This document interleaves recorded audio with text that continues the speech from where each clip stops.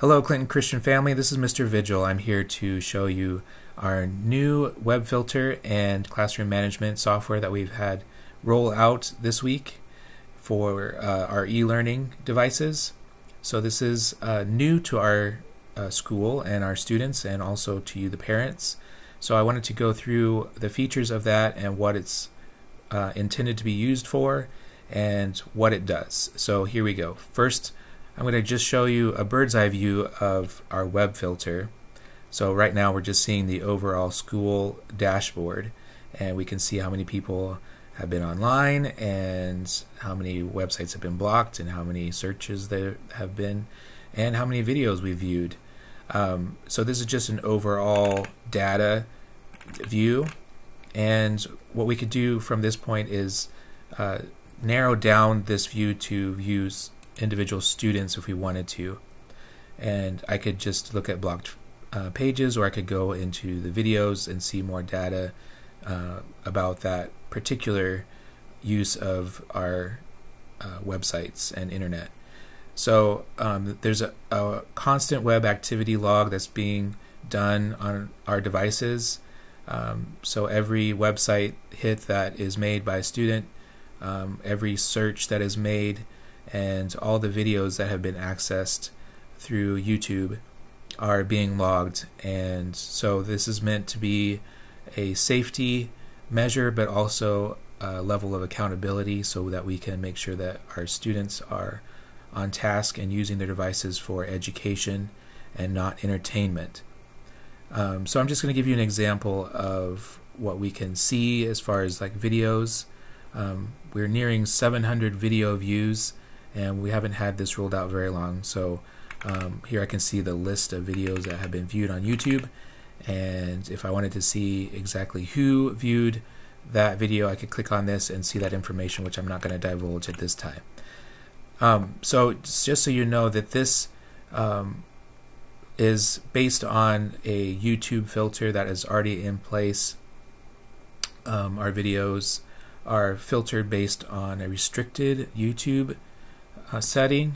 That doesn't mean that there are no videos. It just means that most of the content that would be uh, offensive or not friendly to minors would are is filtered out, and so there's still a lot of content on there that is not education. Um, but this allows us to have the ability to approve um, videos for our organization that can be viewed by our student body um, without a lot of effort. Um, if this becomes a uh, distracting freedom or uh, if, if YouTube is just used for entertainment purposes, we will have to clamp down farther on this, and that won't be fun for our students or our teachers. So I would advise students to only view videos that are uh, for inter- or not entertainment, but for educational purposes and stay away from uh, seeing YouTube as a place for entertainment. Um, our web filter blocks based on categories. So, for instance, uh, a category of chat. So, anything that has uh, chat enabled on its website, uh, Twitter feed, uh, Facebook, uh, feed, any of that would be blocked because of that category. It doesn't necessarily mean that that website is has harmful content on it. It's just it fall there's a part of that website that falls within the category for chat.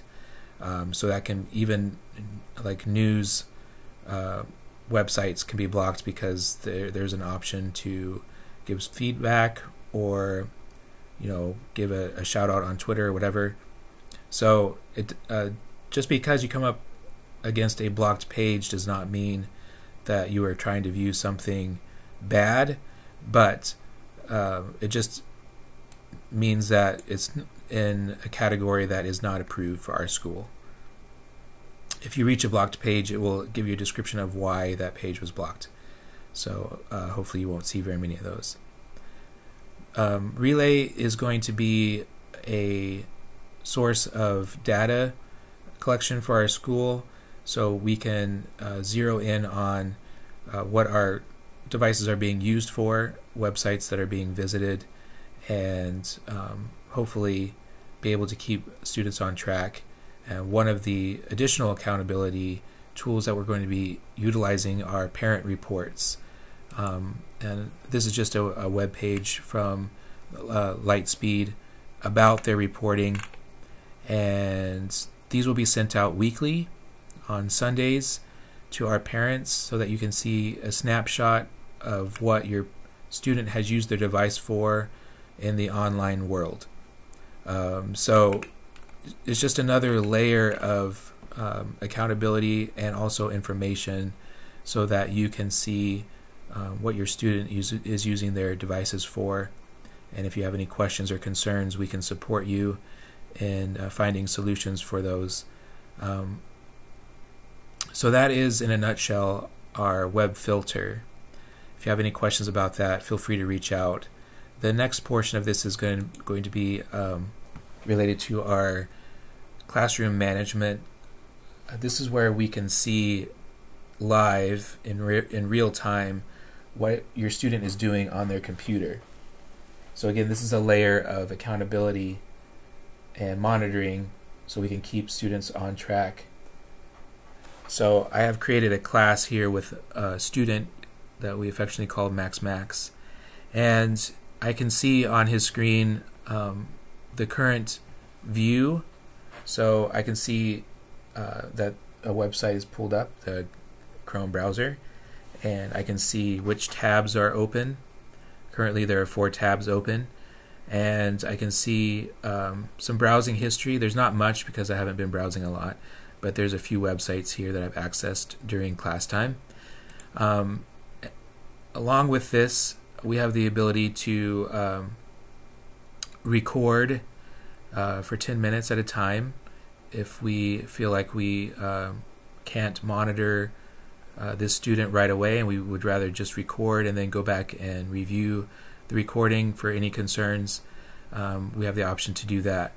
There are also other options that we'll u- utilize more when they're in the classroom, like locking their screen or um, sharing their screen contents, um, things like that. But for students in in this situation for e-learning, uh, our goal in this is to be able to help keep you on track and see um, what you are doing, and um, and then if you run into any problems, um, we can actually see what's going on on your screen. And then also, when you are online, we can see that by this little green uh, dot that appears next to your name. And this class doesn't have very many in it, but there'd be a class generated, and we can. Uh, some teachers may use this for attendance purposes if they want you to be uh, present for uh, like a video instruction session or something like that. So, um, just to give you a, just a snapshot, a brief description of what um, we have put into place to help our students stay on track with their education um, while we have given them these devices to use at home. So, if you have any questions, comments, concerns, feel free to reach out to me or you can reach out to our administrators and uh, share those, and hopefully, we can uh, help make this e learning experience a positive one and one that is full of continued learning. Thank you.